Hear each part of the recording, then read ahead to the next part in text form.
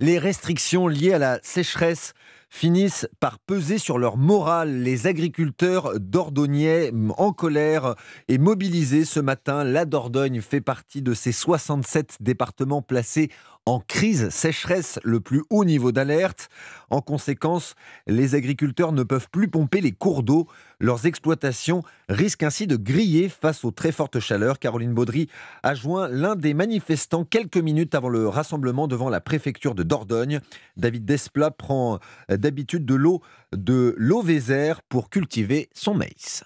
On se retrouve à avec des cultures qui crèvent, quoi, parce qu'on il y a de l'eau dans la rivière qu'on a le droit de regarder passer, mais qu'on n'a pas le droit de, de balancer sur les cultures. Sans période de restriction, euh, on prélève euh, moins de toujours moins de 10% du débit de la rivière. Donc euh, c'est insignifiant. Hein. Si vous mettez votre poisson rouge dans 10 litres d'eau, vous enlevez un litre, il lui en reste neuf. Il en a rien à faire. Il y a des cultures qui sont en avance à 15 jours d'être à maturité, quoi. 15 jours, 3 semaines pour certains d'entre nous on demande à pouvoir sauver ces cultures-là, quoi, euh, simplement pour sauver les fermes, quoi. On subit depuis un an et demi une hausse euh, explosive des charges. Ça, en plus, euh, je veux dire, on va, on n'aura même pas de récolte pour payer les charges, quoi. On va se retrouver avec certainement beaucoup de faillites. Il faut pas se la face.